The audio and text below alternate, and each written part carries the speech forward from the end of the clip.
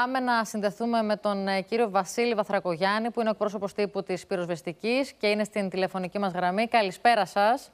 Καλησπέρα σας. Ε, οι ώρες που περνά όλη η χώρα είναι πάρα πολύ δύσκολες, κύριε εκπρόσωπε. Θα ήθελα να μας δώσετε την ε, τελευταία ενημέρωση που υπάρχει. Οι τελευταίες πέντε ημέρες πραγματικά ήταν πολύ δύσκολες. Να πούμε ότι και σήμερα εκδηλώθηκαν μέχρι και τις 7 το απόγευμα που έγινε η καταμέτρηση 56 δασικέ πυρκαγιές. Βέβαια, το ενδιαφέρον έχει επικεντρωθεί στην πυρκαγιά αυτή της Εύβοια, η οποία έχει ξεκινήσει από τις 3 και 16 το πρωί με σημείο έναρξη στην περιοχή της Ακριλίτσα. Ήδη γνωρίζουμε, έχουν ενημερωθεί τηλεθεατές όλοι για την απομάκρυνση των πολιτών. Το σημαντικότερο ήταν ότι ο επικεφαλής των πυροβεστικών δυνάμεων από νωρίς είχε θέσει ότι υπάρχει πιθανότητα να συμβεί αυτό. Έτσι είχαν ενημερωθεί και οι κάτοικοι, είχαν ενημερωθεί και οι συναρμόδιοι φορείς και πραγματοποιήθηκε αυτή η οργανωμένη απομάκρυνση χωρίς πρόβλημα εξελίσσεται η πυρκαγιά. Τα εναέρια μέσα επιχειρούν μέχρι και το τελευταίο φως της ημέρας.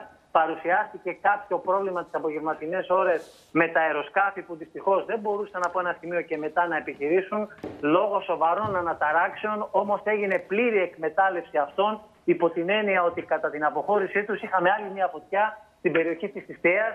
Επενέβησαν άμεσα και εκείνη η φωτιά αμέσως είχε μια πολύ καλύτερη εικόνα. Μάλιστα. Κύριε Βαθρακογιάννη, από την ενημέρωση που εσείς ε, έχετε, είστε αισιόδοξο για την βραδιά που έρχεται για την Εύβοια; Ε, είμαι αισιόδοξο γιατί αναμένουμε σύμφωνα με την ε, Εθνική Μετρολογική Υπηρεσία ανέμους χαμηλότερης έντασης. Είμαι αισιόδοξο γιατί θα υπάρχει και κατά τη διάρκεια της νύχτας και εννοείται αυτό δυναμική παρουσία των πυροβεστικών δυνάμεων. Είμαι αισιόδοξος επίσης γιατί έχει γίνει έτοιμα συνδρομή προς τον Ευρωπαϊκό Μηχανισμό Πολιτικής Προστασίας, το οποίο έτοιμα έχει γίνει αποδεκτό και ανταποκρίθηκε άμεσα και αναμένουμε και τα εναέρια μέσα από τον Ευρωπαϊκό Μηχανισμό τις πρώτες πρωινές ώρες. Μάλιστα, εμείς να ευχηθούμε να πάνε όλα καλά. Ευχαριστώ θερμά τον κύριο Βασίλη Βαθρακογιάννη.